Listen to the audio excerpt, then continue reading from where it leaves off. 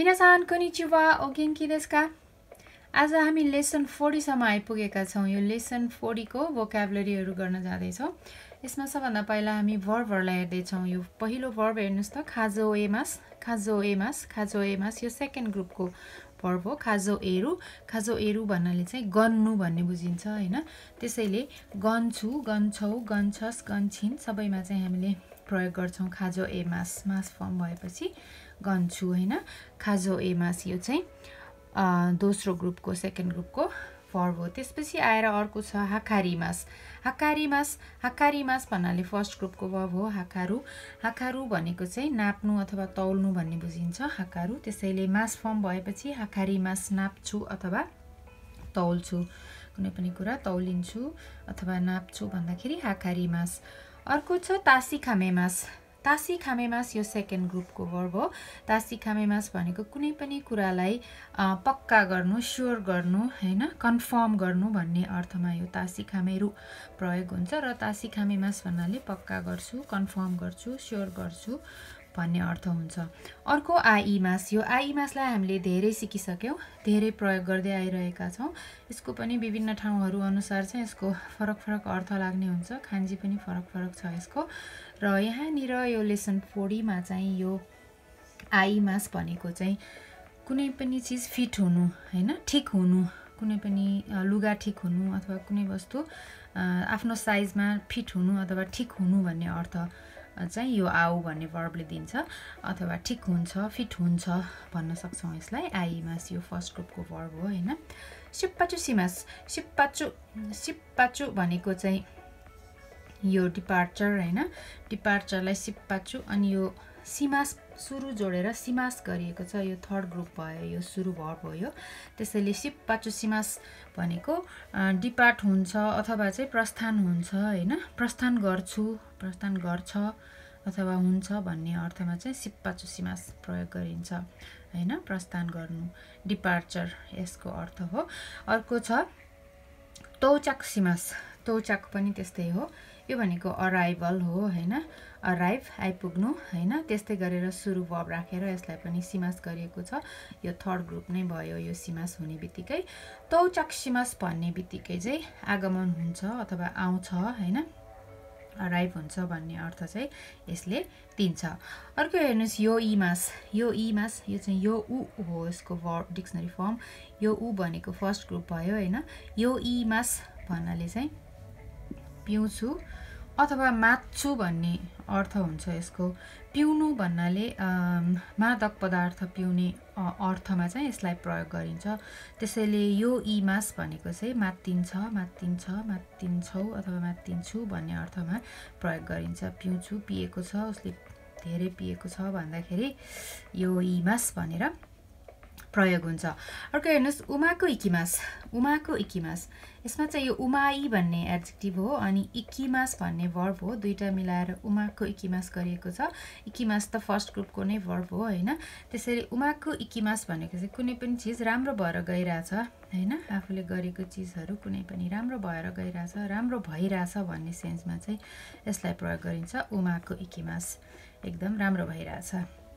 अर्को देमास देमास यो सेकेन्ड ग्रुपको भब हो देमास भनेको यो पनि विभिन्न सेन्सहरूमा प्रयोग हुन्छ। यहाँनिर चाहिँ कुनै समस्याहरू निस्कियो समस्या आयो भन्दाखेरि चाहिँ समस्या देखियो समस्या आयो समस्या निस्क्यो भन्दाखेरि देमासलाई प्रयोग गरिएको छ।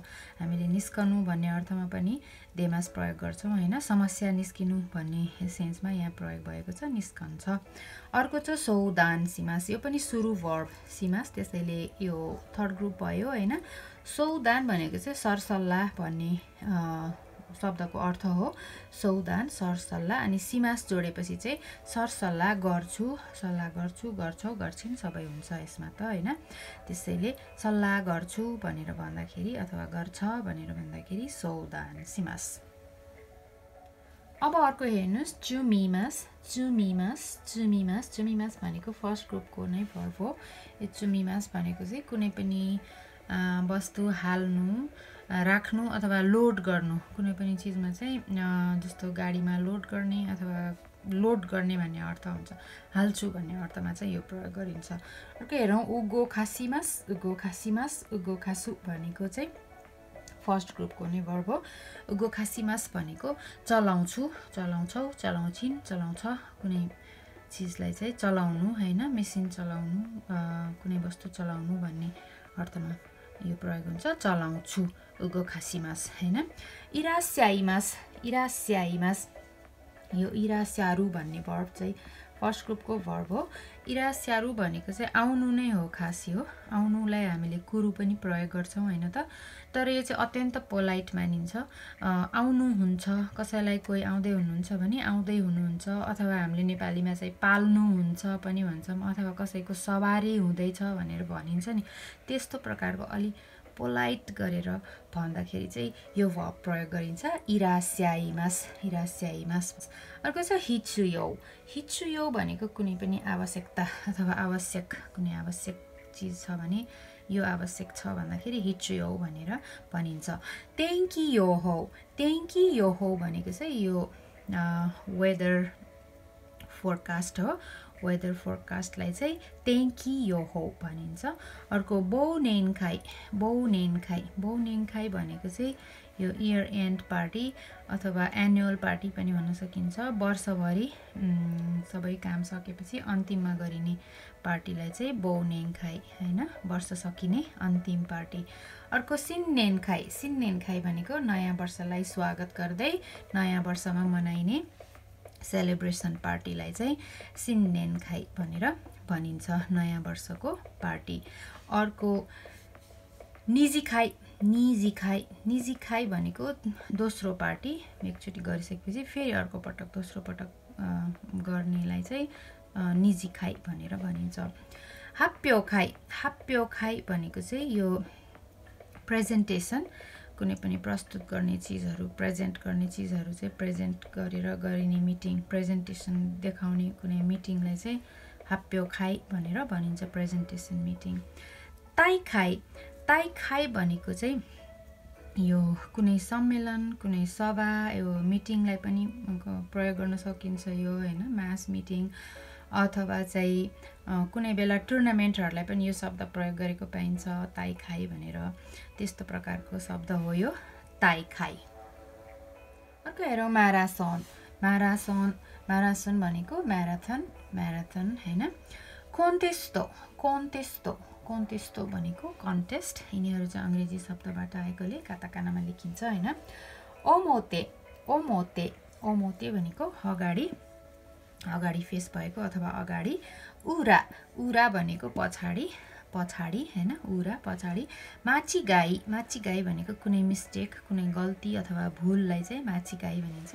किजु किजु किजु भनेको कुनै घाउ चोटपटक कुनै पनि इन्जुरी भन्ने चाहिँ बुझिन्छ। कुनै काटेको अथवा कुनै स्क्र्याच भएको त्यस्तो प्रकारको घाउहरूमा चाहिँ किजु भनेर प्रयोग गर्न सकिन्छ। अर्को जुबोन जुबोन जुबोन भन्नाले ट्राउजर तल लगाउने ट्राउजरलाई जुबोन भनेर भनिन्छ। ओतोसियोरी ओतोसियोरी ओतोसियोरी भनेको चाहिँ हामीले चाहिँ उमेर पुगेको व्यक्ति उमेर पाएको भएको पक्का भएको अथवा उमेर पुगेको एडल्ट मान्छेलाई चाहिँ उमेर पुगेको व्यक्तिलाई चाहिँ ओतोसियोरी भनेर भनिन्छ। नागासा नागासा नागासा भन्नाले लम्बाइ। ओमोसा ओमोसा भन्नाले तौल होइन वेट ताकासा ताकासा भनेको उचाइ अथवा हाइट होइन ओ ओ किसा ओ ओ किसा ओ ओ किसा भनेको साइज होइन त्यसको साइजलाई कुनै चिजको साइजलाई ओ ओ किसा भनेर भनिन्छ। यसमा नम्बर आएर बिन भयो भने चाहिँ यो बिन भन्नाले चाहिँ फ्लाइट नम्बर भन्ने बुझिन्छ। बिन फ्लाइट नम्बर अर्को चाहिँ सेन्ची। सेन्ची भनेको सेन्टिमिटर। यसमा पनि अगाडि नम्बर आएर होइन कति सेन्टिमिटर हो त्यो आएर अनि सेन्ची भयो भने त्यति नै सेन्टिमिटर भन्ने बुझिन्छ होइन जस्तो दस अगाडि छ भने दस सेन्टिमिटर। मिरी। मिरी भनेको मिलिमिटर। यसमा पनि नम्बर आउँछ अगाडि अनि कुनै नम्बर भएर यति मिलिमिटर भन्ने बुझिन्छ। गुरामो। गुरामोमा पनि अगाडि नम्बर। यो भनेको ग्राम हो होइन ग्राम। यति ग्राम भनेर भन्दाखेरि अगाडि कुनै नम्बर आएर यति ग्राम यति मिलिमिटर यति सेन्टिमिटर भनेर अगाडि नम्बर आएर यिनीहरू आउँदाखेरि चाहिँ यो ग्राम मिलिमिटर सेन्टिमिटर भन्ने बुझिन्छ ग्रामु होइन? जस्तो ह्याक ग्राम भन्नुभयो भने ह्याक ग्राम सय ग्राम भन्ने बुझिन्छ होइन? हन्ड्रेड ग्राम भन्ने बुझिन्छ। अर्को त्यस्तै अगाडि नम्बर आएर इजो भन्ने आउँछ। यसरी इजो भन्ने अगाडि आएको छ भने चाहिँ भन्दा बढी भन्ने बुझिन्छ। जस्तो निज्यू इजो भयो भने बिसभन्दा बढी होइन? बिसभन्दा बढी बिस निज्यू भयो इजो भन्दा बढी होइन? त्यस्तै इका इका भयो भने चाहिँ भन्दा कम होइन? भन्दा कम यहाँको इका भयो भने सयभन्दा कम। होइन इका यसरी नम्बर आएर इजो इका आयो भने भन्दा बढी अथवा भन्दा कम भन्ने बुझ्नुपर्छ। अर्को छ सेकी। सेकी भनेको रिजल्ट अथवा स्कोर भन्ने बुझिन्छ। सेकी। अर्को यौसु। यौसु यौसु भनेको कुनै सिचुएसन कुनै परिस्थिति कुनै अवस्था त्यस्तोलाई बताउँछ। यौसु त्यस्तै जिकेन।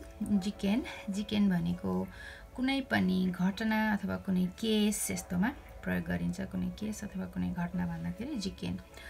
ओतोबाई ओतोबाई ओतोबाई भनेको मोटरसाइकल अथवा मोटर बाइक भन्नु खोजेको हो यो। ओतोबाई ओतोबाई।